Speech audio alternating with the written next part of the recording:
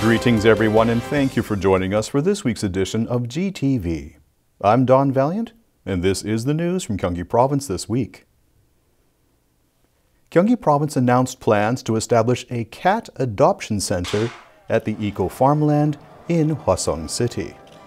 With its completion slated for December, this center will serve as a shelter and adoption agency for homeless cats.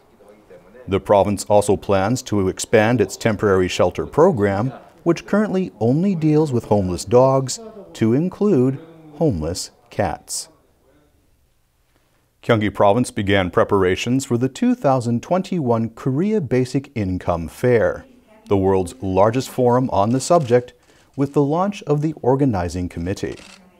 Slated to open on April 14th, the major components of this year's event including the local government representative committee meeting and an international conference, will take place in an online format in consideration of the current pandemic situation.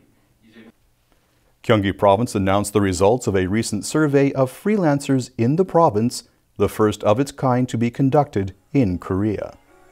Nearly 90% of the survey respondents said that they had experienced unfairness. It was also revealed that approximately 40% of the respondents had an annual income of less than 20 million Korean won, while the average annual income of freelancers in the province was 28 million Korean won. The province will use the survey results as the basis for the development of comprehensive support programs for freelancers. With renewed recognition of the importance of the domestic materials, parts, and equipment sectors, especially after Japanese restrictions on exports to Korea, the Yongin Semiconductor Cluster was designated as a specialized complex by the Korean government. On March 3rd, Gyeonggi Province Governor Lee Jae-myung visited a related enterprise and spoke with personnel on site. During this visit, Governor Lee offered assurances that the province will provide the Yongin Semiconductor Cluster with active industry support so as to help advance technology standards. Gyeonggi Province recently announced plans to launch backstreet commerce promotion projects so as to help small businesses that are experiencing difficulties during the COVID-19 pandemic.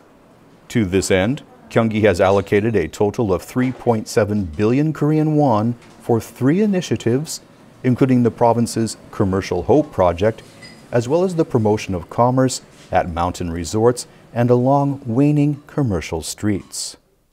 Support will be provided on an application basis to four commercial districts that will be selected from among those that have or plan to establish local merchant organizations. Applications will be received via local government offices until March 25th. On March 11th, the second Lifelong Education Support Center for Individuals with Developmental Disorders opened in Siheung City of Gyeonggi Province. The aim of this center is to help adults with developmental disorders participate in lifelong education programs and adapt to social life. This center features various facilities, including counseling and therapeutic rooms that are geared to help users achieve independence. Thank you for joining us for this week's edition of GTV. We look forward to seeing you again next week.